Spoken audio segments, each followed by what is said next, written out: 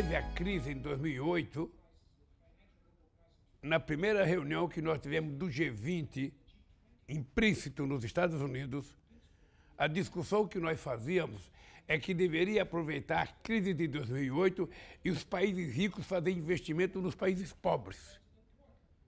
Para que os países pobres tivessem acesso a financiamento, para que pudessem crescer economicamente, construir pequenas e médias indústrias, melhorar a sua agricultura, sabe?